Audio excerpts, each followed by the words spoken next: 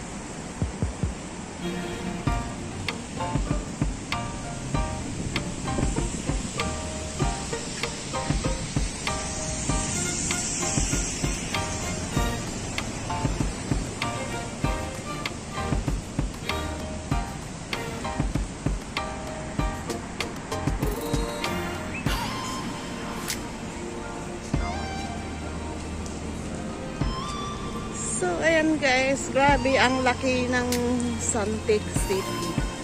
Ayan, may mga ano pa dito, may sing.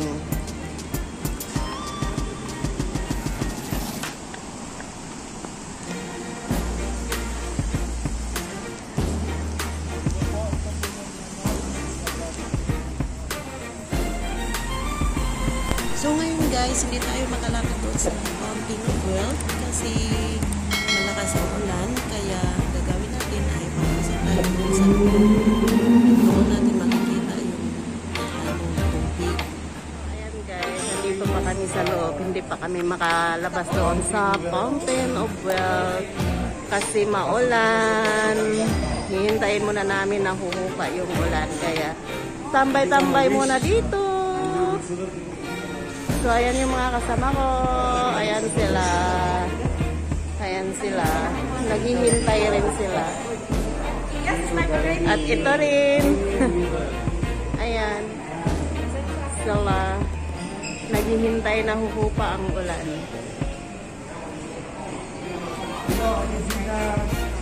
Hindi na pala na sa Manila. Shout out po. Dati, musta po niyo? Okay na ko dito eh. Kira po ka nila. Hi! Wait. Welcome to Jam. Jams Collecting Efforts po. Uh, please subscribe and share to my vlog. Okay po, wag po ninyo So, ayan guys, nakikita nyo yan. Yan sa labas ng Fountain of Wealth. Lumalabas yung tubig. Dito muna kami sa loob kasi maulan. Hindi kami pwedeng lumabas kasi nakasarado pa. Kaya dito lang muna tayo sa laba, ah, sa loob.